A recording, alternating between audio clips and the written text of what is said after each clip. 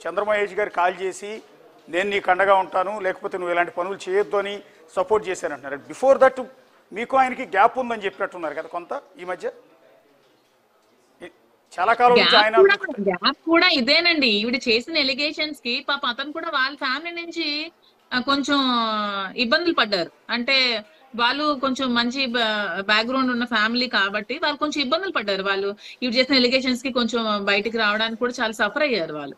ఆ అవ్వడం వల్ల అతను కొంచెం నన్ను దూరం పెట్టారు. ఇవన్నీ ఎలిగేషన్స్ అన్ని నువ్వే క్లియర్ చేసుకో. నీకు రాజకీయాలు నీకు ఇంట్రెస్ట్ అంటే అటువైపు నువ్వు వెళ్ళు పాత్ నేను కాదన్ను కానీ ఇవన్నీ క్లియర్ చేసుకో అని చెప్పారు. ఓకే అంటే భవిష్యత్తులో భర్త చంద్ర చంద్రమహేష్ గారు మళ్ళీ తిరిగి ఇండియాకి వస్తే మీ ఇద్దరు కలిసే ఉంటారండి? అంటే ఇది మీ వ్యక్తిగత అంశమే నేను కాదన్ను. ఈ రోజు అయితే కాల్ చేశారు. ఇంక తర్వాత అతను ఎలా రెస్పాండ్ అవుతారో ఎలా కాల్ చేస్తారో చూసి మాట్లాడి అందరూ నిర్ణయాలు తీసుకుంటాం. యా ఇది చాలా మంచి పరిణామం కదండి.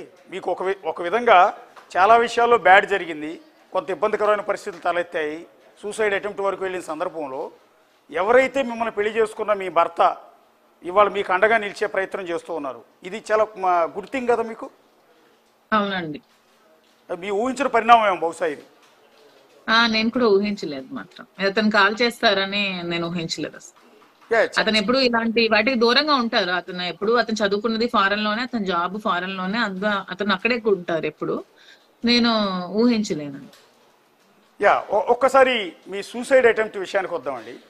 ఎందుకు మొన్న అంత ధైర్యంగా మాట్లాడారు? బిగ్ టీవీతో కూడా మీరు ధైర్యంగా మాట్లాడాను. నేను ఐఎమ్ స్ట్రాంగెస్ట్ ఉమెన్ని నేను చాలా స్ట్రాంగ్గా ఉంటాను. నేను దేనికి కేర్ చేయను. ఐ డోంట్ కేర్ ఎవరు ఏం అనుకుంటారు ఎవరేం చేస్తారని కేర్ చేయను. నేను చేసుకుంటే అలా అలా ఆలోచించే వాళ్ళు ఎప్పుడు అసలు పాలిటిక్స్ రాకూడదు. ఎందుకంటే పాలిటిక్స్లోకి వచ్చామంటేనే చాలా మంది మన మీద బురద చల్లడానికి చూస్తారు.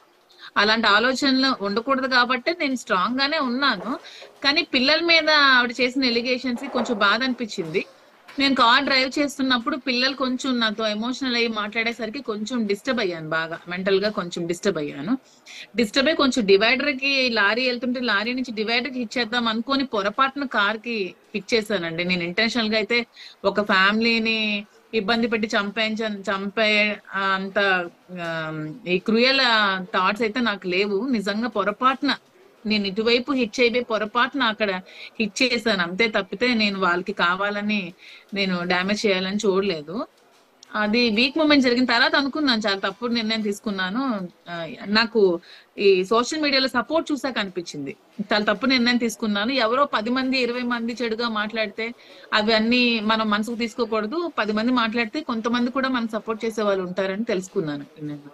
అంటే ఒకటి ఇంత ధైర్యంగా మాట్లాడి మీరు ఇంత పోరాటం చేస్తానన్న మీరు ఒకసారిగా సూసైడ్ అటెంప్ట్ చేయటం అనేది ఇంత వెల్ ఎడ్యుకేటెడ్ పైగా మిమ్మల్ని నమ్ముకుని ముగ్గురు ఆడపిల్లలు ఉన్నారు. ఎంటైర్ లోకం అంతా పక్కన పడేస్తే మీకు మిమ్మల్ని నమ్ముకుని ముగ్గురు ఆడపిల్లలు ఉన్నారు.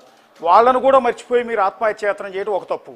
రెండోది అంటే వాళ్ళే మాట్లాడేసరికి అలా అయ్యానండి. వాళ్ళని మర్చిపోయి కాదు. వాళ్ళే మాట్లాడేసరికి మనసు కొంచెం బాధపడింది ఆ టైంలో డ్రైవింగ్లో ఉన్నాను కదా అప్పటికి కొంచెం మెంటల్గా డిస్టర్బ్ అయి ఉన్నాను కదా వాళ్ళే మాట్లాడినప్పటికీ కొంచెం మెంటల్గా డిస్టర్బ్ అయ్యాను. పిల్లలు ఏడ్చినప్పటికీ కొంచెం మనసు చెల్లించింది. అంటే పిల్లలను గుర్తు రావాలి కదా మీరు మీరు లేకపోతే పిల్లలు ఏమైపోతారు ముగ్గురు? మరి పిల్లలే కదా ఏడ్చారు ఆ టైంలో అలా బాధ అనిపించింది. అయితే మీరు ఏదైతే కారుని పొరపాటుని గుద్దానని చెప్తూ